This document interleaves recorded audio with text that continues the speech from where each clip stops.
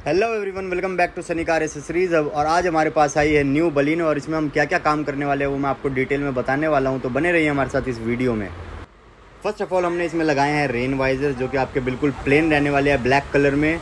और इसके साथ ही साथ हमने इसमें लगाई है विंडो गार्निश और विंडो गार्निश के साथ साथ हमने इसमें क्रोम हैंडल भी लगाए हैं, जिसकी लुक आप देख सकते हैं कितनी ज़्यादा अमेजिंग और कितना ज़्यादा अच्छा देखने में लगता है ये सब।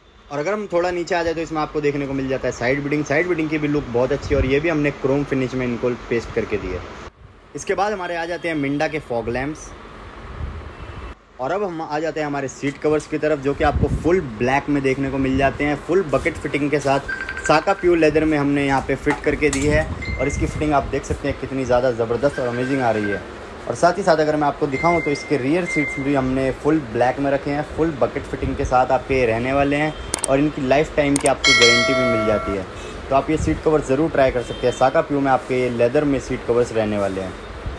और अगर बात करूँ मैं आमरेस्ट की तो ये आपके एडजस्टेबल आमरेस्ट रहने वाले हैं, जिसमें आपको स्पेस भी देखने को मिल जाता है। और इसी में अगर मैं ले चलो आपको पीछे की तरफ़ तो यहाँ पे आपको ग्लास होल्डर भी मिल जाता है। यहाँ पे हमने एटमॉस्फेयर लाइट भी इंस्टॉल करके दिया है मल्टी कलर्स में जो रहने वाली है। और साथ ही साथ हम यहाँ पे सेवन डी मैटिंग भी अभी करने वाले हैं।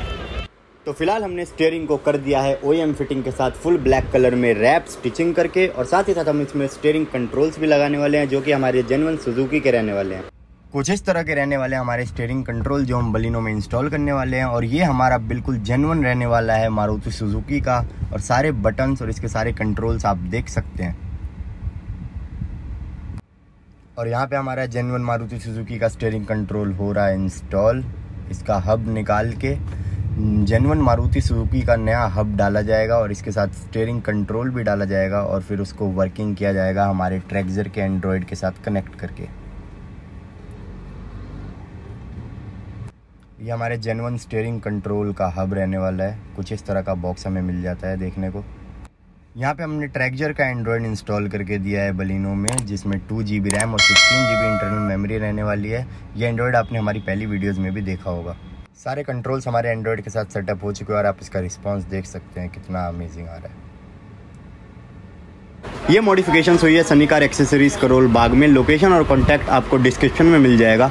ऐसी और अमेजिंग मॉडिफिकेशन वीडियोज़ के लिए इस वीडियो को लाइक करें और चैनल को सब्सक्राइब ज़रूर कर लें। Thank you so much for watching